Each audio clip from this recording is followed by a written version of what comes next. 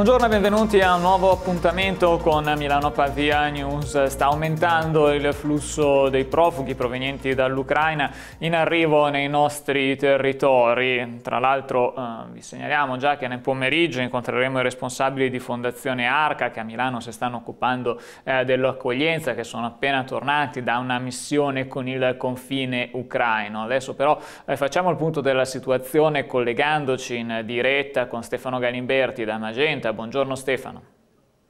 Buongiorno Paolo, buongiorno ai telespettatori. Esattamente è giusto parlare prima di tutto di Milano perché Milano, come tutte le grandi città italiane, è quella che sta eh, accogliendo il maggior numero di profughi eh, provenienti dall'Ucraina. L'ultimo dato disponibile parla di ormai raggiunta quota 10.000 eh, rifugiati eh, in Italia, come detto in Lombardia, la città che ovviamente ne ospita eh, di più è Milano, una situazione che eh, ha già due risvolti. Da una parte il sindaco sindaco di Milano Beppe Sala ha già eh, avvisato o comunque ehm, avvertito che eh, l'esodo dei profughi ucraini sarà probabilmente l'esodo più grande che eh, Milano eh, ricordi e che eh, dovrà affrontare, per il quale in accordo con le prefetture si sta mettendo in piedi eh, tutta la procedura eh, di accoglienza e di alloggio di questi profughi, ma dall'altra parte c'è ovviamente la questione sanitaria e cioè della pandemia da Covid-19 perché l'Ucraina è uno dei paesi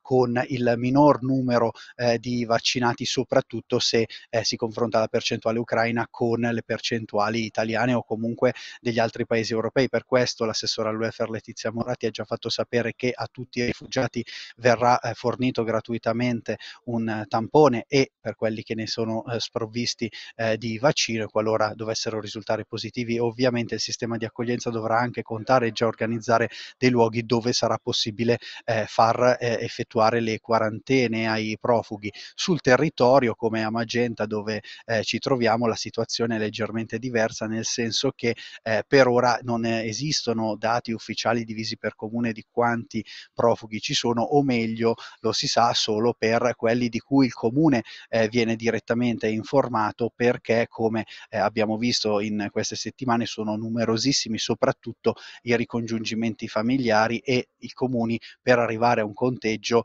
eh, hanno messo in piedi quello che è una procedura procedura per identificare eh, i profughi e eh, ovviamente attivare tutte le procedure che riguardano il diritto d'asilo proprio per non doverli far spostare fino a Milano e soprattutto sopperire a quelle che possono essere delle difficoltà eh, dovute alla lingua. A fianco a quella che è il tema dell'accoglienza, eh, continuano in tutti i comuni le raccolte volontarie organizzate dai cittadini che poi spediscono tramite dei pullman eh, dei eh, camion, dei furgoni di aziende che già effettuavano eh, il, il, viaggio tra Ucraina e Italia, per esempio, per portare eh, le badanti, ora si sono riconvertiti per eh, portare gli aiuti di cui i profughi al confine hanno bisogno e dall'altra parte continuano anche le manifestazioni contro la guerra in Ucraina, manifestazioni che come è accaduto a Magenta poche ore fa hanno assunto eh, anche una valenza interreligiosa, soprattutto perché come a Magenta la comunità ucraina e in generale ortodossa è molto presente e quindi si è voluto dare un taglio oltre che eh, pacifista anche un taglio di dialogo interreligioso visto che molti di questi profughi poi probabilmente resteranno in città, ma vediamo cosa è successo a Magenta nelle scorse ore. Una manifestazione, quella che ha visto la città di Magenta riempire le strade contro la guerra in Ucraina, che ha da subito voluto assumere il senso di una preghiera interreligiosa, momento di riunione della comunità a cui hanno partecipato le autorità civili e religiose una rappresentanza dei cittadini ucraini di Magenta. Ecco perché occorre in qualche modo evocare, evocare sta un po' anche per dire domandare, supplicare, intercedere, invocare questo dono della pace. Da chi? Io direi da quell'altro con la A maiuscola che è Dio, ma anche all'altro, perché qualche volta sapete bisogna per fare pace essere in due. Eh? E uno ti offre la mano, devi anche rispondere, uno te lo chiede, rispondere. Sono otto anni che l'Ucraina vive con la paura della, della guerra e adesso è arrivata. Sono preoccupata, non dormo e non faccio altro che guardare i telegiornali e il telefono per capire cosa succede. Anche a Pavia continua l'arrivo di profughi che è ormai quotidiano. Andiamo a collegarci in diretta con Luca Pattarini. Buongiorno Luca. Buongiorno Paolo, buongiorno da Pavia, come dicevi da diversi giorni ormai anche qui e in provincia stanno arrivando ovviamente i rifugiati dalla guerra in Ucraina, tra venerdì eh, e domenica. A Pavia sono, ne sono arrivate eh, diverse decine, anche qui ovviamente non si ha un numero preciso perché in molti casi si tratta di ricongiungimenti familiari, di persone che tornano eh, dai loro parenti, insomma c'è chi ha eh, la madre qui, la nonna, altri, altri parenti e quindi eh, cercano un riparo proprio eh, da loro. Come ci si sta muovendo, l'avevamo annunciato nei giorni scorsi, la comunità ucraina che fa riferimento alla, alla Chiesa ortodossa eh, ha organizzato un momento di incontro proprio domenica in occasione eh, della messa pomeridiana per parlare, per capire quali sono le esigenze di queste eh, persone, per consegnare insomma, generi di prima necessità, vestiti, sappiamo si tratta di persone che scappano dalla guerra, quindi eh, in molti casi hanno soltanto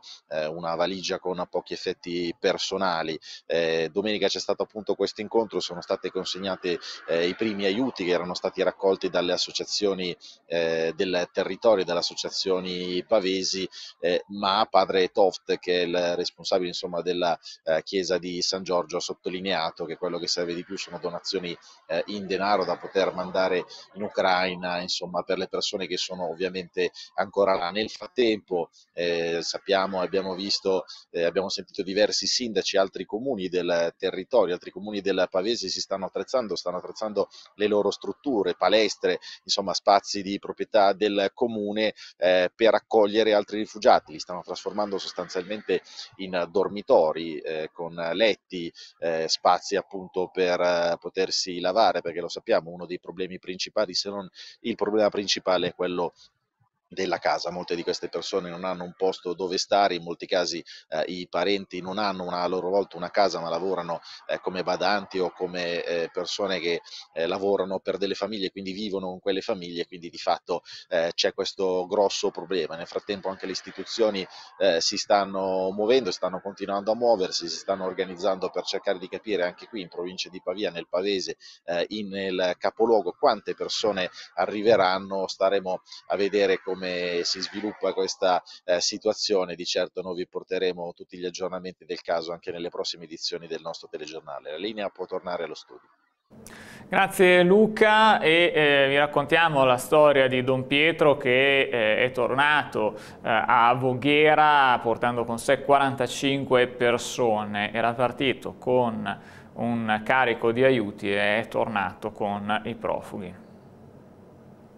Quando lo raggiungiamo al telefono, Don Pietro Sacchi è appena tornato dal confine con l'Ucraina dopo un viaggio di 14 ore in compagnia di 45 profughi. Il parroco di San Pietro a Voghera è partito due sere fa con un pullman verso il confine ungherese con un carico di cibo e medicinali. Il gruppo Gavio ha sostenuto i costi di questo viaggio mettendo a disposizione il pullman della squadra di basket Bertram Dertona e tre autisti. Una volta consegnati gli aiuti, Don Pietro ha preso con sé i 45 sfollati con cui è arrivato nella tarda mattinata di venerdì in Italia, i profughi, in maggioranza donne e bambini, saranno accolti nelle case dell'Opera Don Orione a Tortone e a Fano, in provincia di Pesaro Urbino. Eh, intanto Don, che esperienza è stata e come è andata? Eh, è stata un'esperienza bella, forte, un'esperienza dell'ultimo momento perché eh, a stimolarlo sono stati i confratelli di Leopoli, in particolare Don Egidio Montanari, che è stato anche parroco qui a Voghera, dove sono parroco io adesso.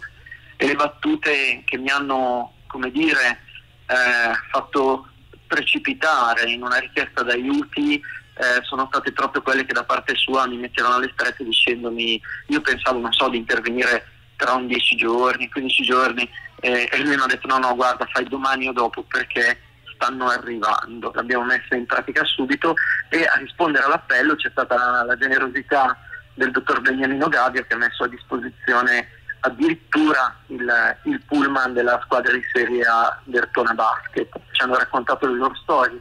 sono dei civili eh, a tutti gli effetti, che tu trovi la domenica in chiesa, li trovi eh, al supermercato, li trovi al bar, eh, delle persone normalissime con i loro bambini, eh, vestiti bene, curati, eh, che avevano, cioè non c'era un'immagine, uno scenario eh, da centro profughi o che so io, da, da ambiente di soccorso, arrivare di fronte a una situazione di una normalità, te la virgoletto questa parola perché io mi do tutto per gli altri mondi di solito, ad una normalità così evidente e così sfregiata dallo scempio della guerra è stato agghiacciante. Sono arrivati da poco, appena, hanno, hanno, fatto il primo pranzo italiano poco fa e, e si sono appena appena sistemati in una stanza. Ovviamente tutto questo dovrà avere un'evoluzione e non abbiamo eh, ancora dire, strutturato con estrema precisione tutti i coordinamenti, tutti gli aiuti, ma lo stiamo facendo. Stiamo iniziando a dire alle persone chi deve portare cosa, dove deve portarlo. Anche da un punto di vista parrocchiale noi abbiamo dato il via eh, a, a, decisioni di raccolta e, mh, mm, e, anche di finanziamenti di viaggi, perché ci sarà bisogno eh, anche di donazioni per poter permettere ad altri autisti di avventurarsi in una crociata di questo tipo. Eh, è sicuramente molto meglio avere un bus a disposizione per così tanta strada e così tanta gente con più autisti perché sono tante ore di viaggio. Imbarcarsi in situazioni di fortuna con macchine e pulmini non è raccomandabile, anche se se dovesse essere l'unica soluzione probabilmente penseremo anche a quello. Le notizie di cronaca tenevano un capannone diversa merce sospetta e soprattutto un apparecchio disturbatore di onde radio utile a manomettere telecamere wifi e sistemi di allarme. Un 35enne rumeno residente a Casanova Lonati è stato denunciato per ricettazione e detenzione abusiva di arma. Aveva infatti anche un fucile e una pistola giocattolo priva del tappo rosso. I carabinieri che hanno eseguito l'operazione stanno indagando sulla provenienza della merce, elettrodomestici, ricambi auto, cosmetici, in relazione a diversi furti segnalati nelle notti scorse danni di camion in sosta nei pressi delle logistiche oltrepadane. Ci sono delle novità per quanto riguarda la sparatoria avvenuta a Pavia in Strada Nuova e allora torniamo in diretta con Luca Pattarini. Luca. Rieccoci Paolo, sì, ci sono delle novità per quanto riguarda il, eh, ha, la persona che ha sparato, il ricercato di origine albanese che ha sparato un suo eh, connazionale, un diciannovenne proprio qui alle mie spalle, nello slargo di Strada Nuova, all'imbocco del ponte coperto. Eh, si sa che l'uomo è tornato, è riuscito a tornare eh, in Albania, è riuscito a deludere i posti di blocco, adesso assieme alla, alla Polizia di Stato stanno collaborando anche le forze di polizia albanesi per cercare di uh, risalire al suo nascondiglio. Di certo, eh, siccome, come ci aveva spiegato il prefetto alcune settimane fa, alcuni giorni fa, eh, si tratta di una specie di eh, agguato che è, è, nato all'interno di un ambiente criminale, non si esclude che questa persona, quest'uomo, eh, possa avere degli agganci che lo stanno nascondendo proprio nel suo paese d'origine, quindi sarà difficile andarlo a trovare, però di fatto eh, c'è questa nuova svolta, gli investigatori autori sanno che appunto la fuga ha, di questa persona lo ha portato in Albania e da lì insomma continueranno eh, le ricerche e le indagini. Nel frattempo il diciannovenne che è stato colpito da tre proiettili nella sera del 19 febbraio scorso sta meglio, sappiamo che a sua volta ha parlato agli investigatori, ha spiegato le motivazioni di questo agguato, un agguato che sarebbe da, eh, da insomma, eh, inserire all'interno di un contesto di una faida familiare familiare di una lite tra eh, due famiglie, doveva essere un incontro per discutere e appianare le divergenze, si è trasformato appunto in un agguato con una sparatoria di sabato sera in pieno centro che aveva anche spaventato l'opinione pubblica, ma che come detto era da inserirsi eh, non in un gesto folle scaturito dopo una rissa, ma appunto eh, per un regolamento di conti all'interno della criminalità organizzata, almeno eh, questo è quello che ci è stato spiegato dalla prefettura. Staremo a vedere vedere se gli investigatori eh, riusciranno a risalire appunto al nascondiglio del killer o meglio del, eh, dell'uomo che ha sparato che è accusato ovviamente di eh, tentato omicidio e che se arrestato rischia una pesante condanna. Per il momento è tutto Paolo, ti restituisco la linea. Grazie. Sta facendo parlare tantissimo sui social quanto avvenuto ieri a Corbetta, in un distributore di benzina, eh, dove il prezzo alla pompa era di eh, 5 euro, sfiorava i 5 euro. Ha seguito per noi questa vicenda Stefano Galimberti, ci colleghiamo con lui. Stefano.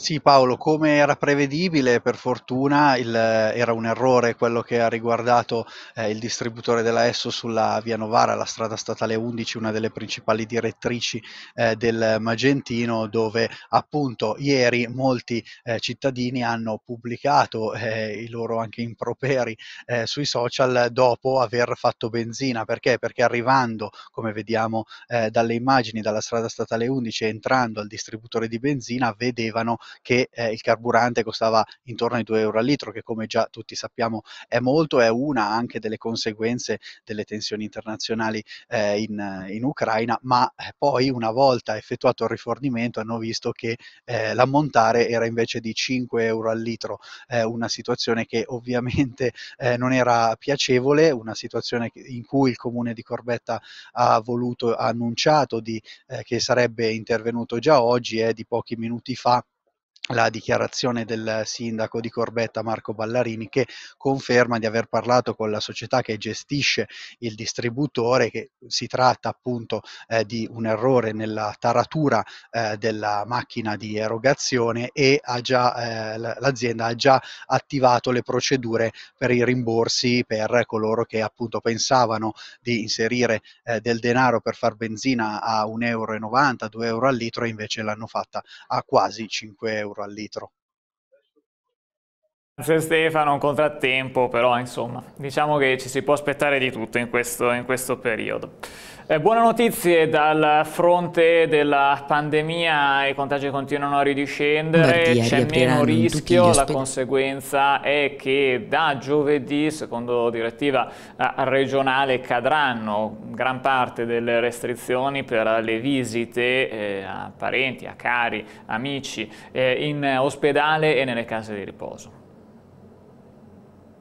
Da giovedì 10 marzo in Lombardia riapriranno in tutti gli ospedali le visite ai parenti. Dopo due anni di stop infatti i pazienti avranno diritto a 45 minuti al giorno per stare con familiari e amici, mentre per gli ospiti delle RSA non ci saranno più limiti di tempo per le visite, anche per quegli anziani che sono positivi al virus, naturalmente con le dovute precauzioni e con la sorveglianza del personale. È così che Regione Lombardia sta mettendo a punto le ultime regole per le visite negli ospedali e nelle case di riposo, allineandosi alla legge nazionale del 18 febbraio con le norme da seguire per le strutture sanitarie fino alla fine dello stato di emergenza prevista per il prossimo 31 marzo. Le visite a pazienti anziani saranno però consentite solo a chi è in possesso del Green Pass rafforzato, dunque chi ha ricevuto anche la terza dose, mentre chi ha avuto il Covid da meno di sei mesi dovrà anche fornire all'entrata l'esito seguito di un tampone fatto entro le 48 ore. Secondo le nuove regole dunque negli ospedali l'orario di visita per ogni paziente potrà durare massimo 45 minuti al giorno, ma sarà invece sempre consentito l'accesso degli accompagnatori dei giovani sotto i 18 anni, delle donne in gravidanza, degli anziani over 80, delle persone straniere che non parlano italiano e delle persone in fin di vita. Intanto, in attesa di giovedì e della nuova regolamentazione, alcune strutture ospedaliere ospedaliere hanno iniziato ad aumentare il periodo di visita, come al Policlinico di Milano, al Fate Bene Fratelli e al Sacco, dove si è passati da una visita una volta a settimana consentita ad un solo familiare a visite di 45 minuti a giorni alterni per più visitatori, visite più o meno con le stesse modalità anche al San Raffaele e all'ospedale dei bambini Buzzi, mentre al Santi Paolo e Carlo le visite sono ancora vietate poiché si aspettano le disposizioni definitive definitive da parte della Regione. Le questioni che stanno facendo discutere nelle principali città del nostro territorio, partiamo da Milano e dalle polemiche sulla viabilità in corso Buenos Aires che sono state rinfocolate eh, dopo che il municipio ha chiesto un studio di fattibilità per dei pilomat. L'idea di pedonalizzare Corso Buenos Aires non è nulla di nuovo, se ne parla da tanti anni tra chi sostiene che sarebbe una follia per il commercio e il traffico e chi invece invita a parlare con i negozianti di Via Dante o di Corso Vittorio Emanuele per farsi un'idea di quanto un'isola pedonale possa essere una svolta positiva. Discorsi che, piacciono o meno, sono sempre rimasti nel campo dell'astratto senza mai guadagnare elementi di concretezza, almeno fino ad oggi. Il Municipio 3 ha infatti approvato quelle che ritiene le priorità priorità da inserire nel piano delle opere pubbliche, all'interno delle quali troviamo la seguente voce. Inserimento di barriere temporaneamente attivabili, come per esempio dei pilomat, lungo corso Buenos Aires in corrispondenza degli incroci per permettere la sua pedonalizzazione periodicamente e in sicurezza. Va detto, non c'è nessun piano operativo per eliminare le auto da uno dei maggiori assi commerciali della città e l'obiettivo sembra quello di pedonalizzare la strada solo temporaneamente e in base alle circostanze speranze, ma è bastata questa ipotesi a scatenare le polemiche soffiando su bracci dormienti. Se l'idea di Corso Buenos Aires inaccessibile ad auto e moto piace all'assessora comunale al verde Elena Grandi, che parla di un'ipotesi con un potenziale enorme, dall'altra parte c'è un centrodestra che è pronto ad incatenarsi agli stessi incroci dove il Municipio 3 pensa di installare i Pilomat. Silvia Sardone non si risparmia. Dopo la ciclabile della discordia che ha fatto insorgere tutti, dagli automobilisti ai ciclisti ai commercianti, afferma la consigliera leghista, vista, i deliri della sinistra non si fermano e vanno a penalizzare tutti coloro che non vogliono piegarsi alla dittatura green della bicicletta o del monopattino. E sulle questioni invece attualmente più spinose a Pavia è stato fatto un vertice, un vertice politico di maggioranza riguarda il municipio. Il resoconto nel prossimo servizio. Un incontro richiesto dal sindaco Fracassi con i segretari provinciali dei partiti di maggioranza e con i capigruppo di centrodestra. Si è tenuto nei giorni scorsi il vertice interno all'amministrazione del Mezza Barba. Diversi i punti all'ordine del giorno, anche se la fetta più ampia della discussione ha alla fine riguardato la cementificazione di via Marangoni, che tante polemiche sta generando nella zona ovest della città. L'ordine dei lavori ha individuato tre argomenti principali, un aggiornamento sulla verifica di metà mandato, la situazione di ASM Pavia e i rapporti con la provincia e con le municipalizzate di tutto il territorio. Sul tagliando di metà mandato non sono mancate le perplessità rispetto alla forma. Discussioni e analisi di questo tipo andrebbero fatte alla presenza dei consiglieri comunali di maggioranza e della giunta, è stato sottolineato durante il vertice. Lo stesso sindaco però ha ribadito come in molti tra gli scrani del centro-destra si lamentano di non essere informati sull'attività dell'ente ma allo stesso tempo non partecipano agli incontri, una stoccata che Fracassi con ogni probabilità aveva in mente da tempo. Per quel che riguarda la situazione di ASM è stata ribadita da alcune forze politiche la necessità di portare avanti la due diligence così come votato proprio in Consiglio Comunale nelle scorse settimane. Il terzo punto è stato invece inserito nell'ordine dei lavori a pochi minuti dall'inizio del vertice. Unico aspetto degno di nota, la polemica sollevata dallo stesso sindaco Fracassi rispetto alla situazione della Broni Stradella Pubblica. Il mondo del vino sta discutendo parecchio del provvedimento da poco approvato dal Ministero che introduce dal prossimo anno il catasto digitale delle vigne. Vediamo di che cosa si tratta. A partire dall'estate 2023 i vigneti saranno schedati in un sistema unico digitale con applicazioni grafiche e riferimenti satellitari, un grande fratello agricolo, insomma, che in base a quanto previsto da un decreto del Ministero dell'Agricoltura approvato nei giorni scorsi si estenderà anche al comparto vitivinicolo, una piccola rivoluzione innescata dall'Unione Europea che dovrebbe mettere ordine e garantire in modo ancora più puntuale la tracciabilità dei prodotti, in particolare quelli a denominazione di origine protetta protetta, detti DOP, ovvero nel vino DOC e di OCG, e a indicazione geografica protetta o IGP, che per il vino sono identificati con IGT. I viticoltori dovranno quindi compilare il proprio fascicolo aziendale in modalità grafica e geospaziale, aggiornandolo in caso di modifiche. I dati del fascicolo dovranno quindi essere aggiornati dalle stesse aziende, ma dovranno essere validati dalla Regione. Il decreto, approvato lo scorso 28 febbraio dal MIPAF, è in attesa della pubblicazione sulla Gazzetta Ufficiale. Ricordiamo che tra oggi e domani ci sarà il cambio delle frequenze in Lombardia per tutti i canali televisivi nazionali e locali. Per continuare a seguire i programmi di qualunque emittente sarà quindi necessario effettuare la risintonizzazione. Da quel momento in poi Milano Pavia TV non sarà più sul canale 89 dove ci avete seguito negli ultimi anni ma sul canale 78. Se non riceverete più alcun canale televisivo significherà che il vostro televisore o decoder non è adeguato al nuovo standard e quindi occorrerà acquistarne uno nuovo. Brevemente, prima di lasciarci, una notizia dal web perché prosegue la staffetta delle occupazioni nelle scuole superiori milanesi. Qui siamo sul sito del Corriere della Sera che titola Istituto Pareto occupato a Milano, è il turno quindi del Pareto, gli studenti dicono niente scuse, serve una rivoluzione. La maggior parte degli studenti aveva già scioperato la settimana scorsa restando fuori dai, can dai cancelli organizzando un picchetto. Respinta la proposta proposta di cogestione del preside della scuola di Affori, quindi il Pareto è, è occupato. Ci fermiamo, vi ricordo che torneremo con le edizioni serali a partire dalle ore 19. Buon proseguimento di giornata.